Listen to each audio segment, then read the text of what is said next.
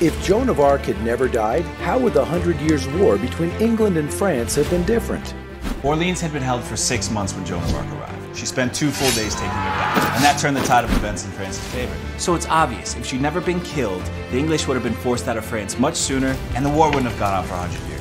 The real turning point was her death. In the years that followed, the inspired French revolted against England, resulting in the defeat of the English army. So if she hadn't died, the two sides would have kept fighting, and France may not have been victorious. That was how long ago, though? How would that fight of pure force pan out now? Rise of Kingdoms has so many different civilizations, and they replicate their units and attributes perfectly. Right, the English longbowmen, a special unit, have a 10% bonus to attack, while the French special infantry's throwing axe have a 10% bonus to health. Rise of Kingdoms has implemented realistic counters and resistances, so the bowmen counter the infantry. That means overall, England has the edge. Glory once more.